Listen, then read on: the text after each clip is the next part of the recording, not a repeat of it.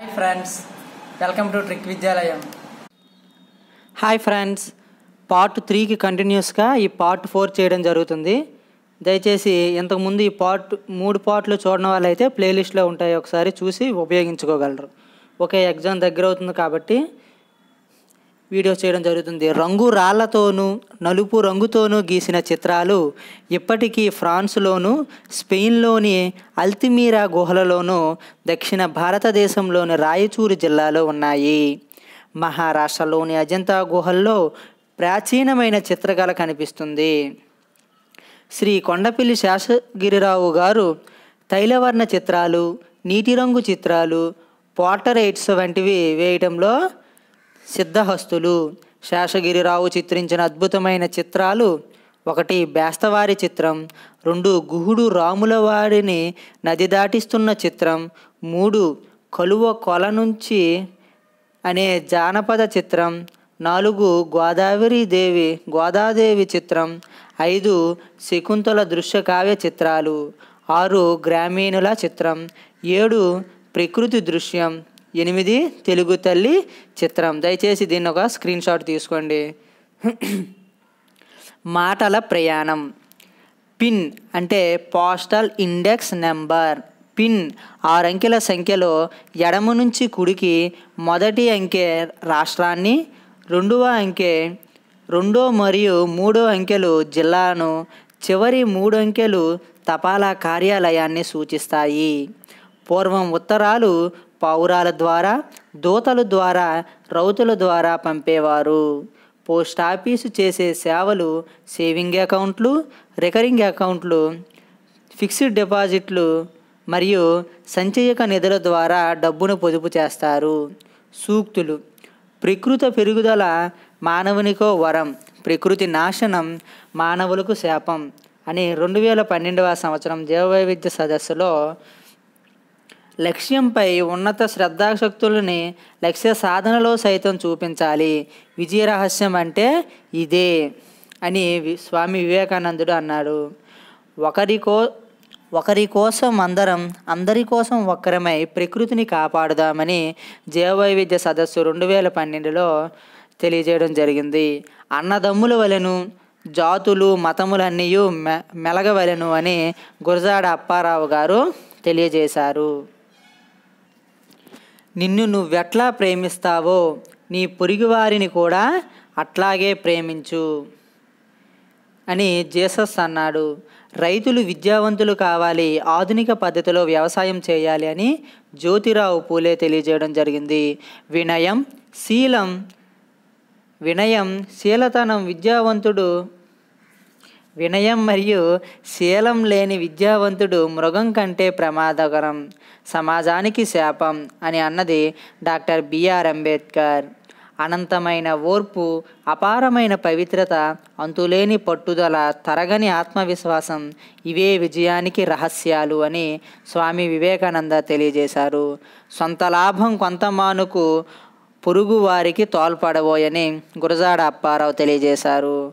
కర్మ అదృష్టం వంటి మాటలు పక్కన పెట్టి మీ శక్తితో పైకి రండి అని డాక్టర్ బిఆర్ అంబేద్కర్ తెలియజేశారు.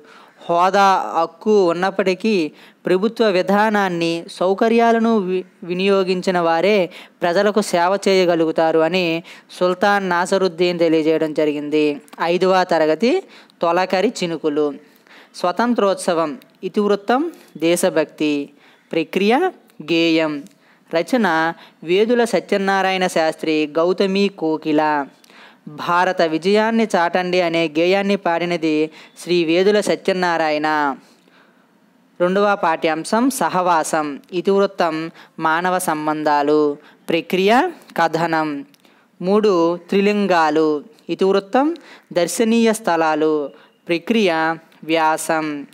త్రిలింగాలు శైవ క్షేత్రాలు మూడు అవి శ్రీశైలం ద్రాక్షారామం కాళేశ్వరం. శ్రీశైలం. ఇది కర్నూలు జిల్లాలో ఉంది.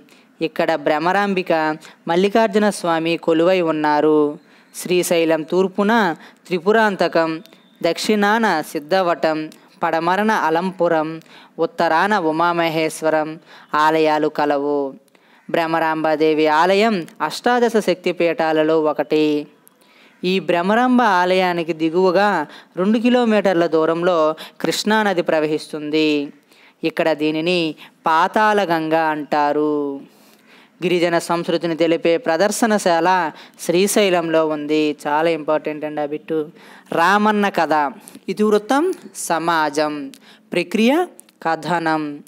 వృధా చేయటం. పాఠ్యాంశం యొక్క ఇతివృత్తం సామాజిక స్పృహ. ప్రక్రియ సంభాషణ.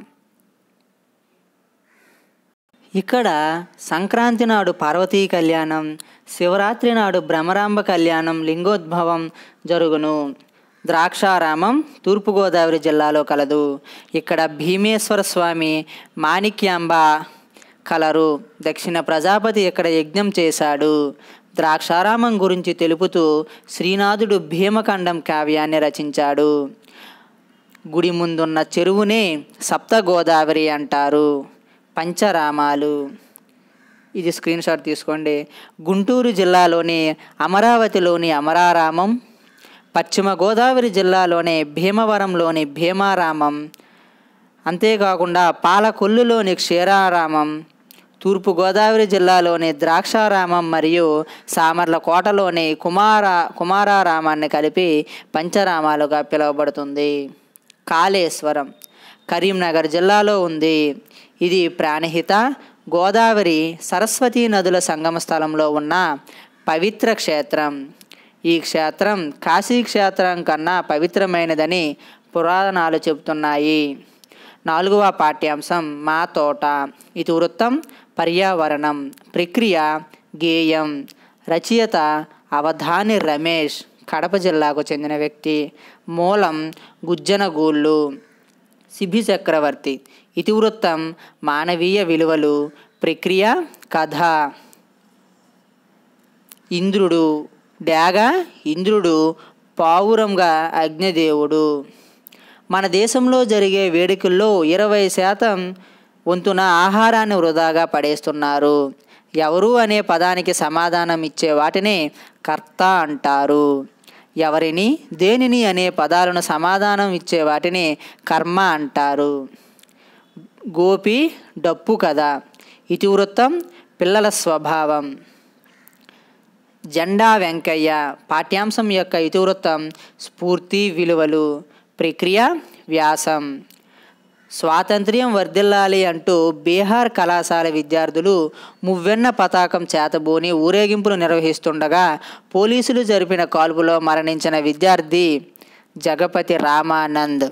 అలహాబాద్లో త్రివర్ణ పథకాన్ని ఆవిష్కరించిన వారు లాల్ బహదూర్ శాస్త్రి. స్త్రీ వేషధారణలో ఈయన త్రివర్ణ పతాకాన్ని ఆవిష్కరించడం జరిగింది.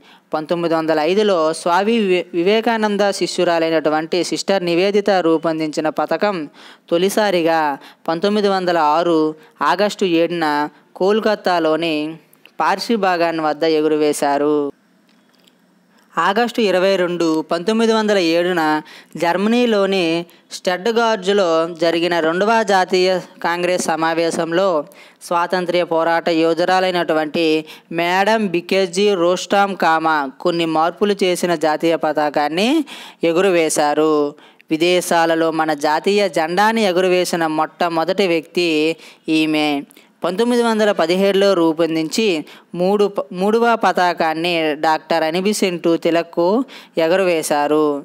పింగళ వెంకయ్య రూపొందించిన పతాకాన్ని పంతొమ్మిది వందల ఇరవై ఒకటి మార్చి ముప్పై ఒకటిలో విజయవాడలో జరిగిన అఖిల భారత కాంగ్రెస్ సమావేశంలో గాంధీజీ ఎగురవేశాడు.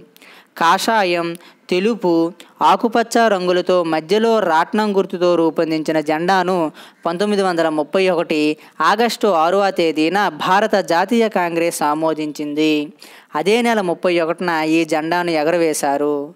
తెలుపు శాంతికి సత్యానికి ఆకుపచ్చ నమ్మకానికి సమృద్ధికి భూమికి కాషాయం ధైర్యానికి త్యాగనిరతకి దేశభక్తికి ప్రతీక. ధర్మచక్రం ఇరవై నాలుగు ఆకులు ఇరవై నాలుగు గంటలు క్రమశిక్షణ ధర్మానికి న్యాయానికి సంకేతం. పింగళి వెంకయ్య గారు రూపొందించిన పతాకానికి పంతొమ్మిది వందల నలభై ఏడు జులై ఇరవై రెండున ఆమోద ముద్ర వేశారు. జాతీయ జెండా పొడవు వెడల్పుల నిష్పత్తి త్రీ ఇస్టు టూ. దీనిని ఖాదీ లేదా చేనేత వస్త్రంతో తయారు చేయాలి. వెంకయ్య జననం పద్దెనిమిది వందల డెబ్బై ఆరు ఆగస్టు రెండవ తేదీన కృష్ణా జిల్లాలోని బట్ల పెను పెనుమర్రు అనే గ్రామంలో జన్మించాడు. మనసుంటే మార్గం ఇతివృత్తం వికలాంగుల ఆత్మగౌరవం. ప్రక్రియ లేఖ ఒకే ఒక సమాపక సమాపక క్రియ కలిగిన వాక్యాలనే సామాన్య వాక్యాలు అంటారు. ఒకటి లేదా అంతకంటే ఎక్కువ అసమాపక క్రియలు ఉండి తప్పనిసరిగా ఒకే ఒక సమాపక క్రియ ఉన్న విషయ వాక్యాలు సంక్లిష్ట వాక్యాలు లేదా సంశ్లిష్ట వాక్యాలు. రెండు అంతకంటే ఎక్కువ సమాపక్రియ పదాలు కలిగి స్వతంత్ర వాక్యాలుగా ఉన్న వాక్యాలు సంయుక్త వాక్యాలు. తరువాత పాఠ్యాంశం సీతాకోక చిలుక. అవత్స సోమసుందర్ ఇతివృత్తం జీవ వైవిధ్యం ప్రక్రియ గేయ కథ. ప్రపంచం మొత్తం ఇరవై ఐదు వేల సీతాకోక చిలుకలు ఉన్నాయి. మన దేశంలో పదిహేను వందలు ఉన్నాయి. మన ఆంధ్రప్రదేశ్ రాష్ట్రంలో రెండు వేల రకాలు ఉన్నాయి. క్రియాపదం లేకపోయినా పూర్తి అర్థాన్నిచ్చే వాక్యాలు క్రియారహిత వాక్యాలు. సీతయ్య అమాయకుడు మా ఊరు రామాపురం. తరువాత పాఠ్యాంశం సంక్రాంతి. ఇతివృత్తం సంస్కృతి ప్రక్రియ వ్యాసం. రథం రథం ముగ్గు సూర్య గమనానికి సంకేతం. సంక్రాంతి అంటే సూర్యుడు ధనురాశి నుంచి మరొక రాశిలోనికి ప్రవేశించడం. దీనినే మకర సంక్రాంతి అంటారు. సూర్య పరిభ్రమణం ఉత్తర దిశగా మొదలు కావడంతో దీన్ని ఉత్తరాయణ పూర్వకాలం అని కూడా అంటారు. ఓకే పుణ్యకాలం అని కూడా అంటారు. మూడో రోజు కనుమ దీన్నే పశువుల పండుగ అంటారు. క్రిస్మస్.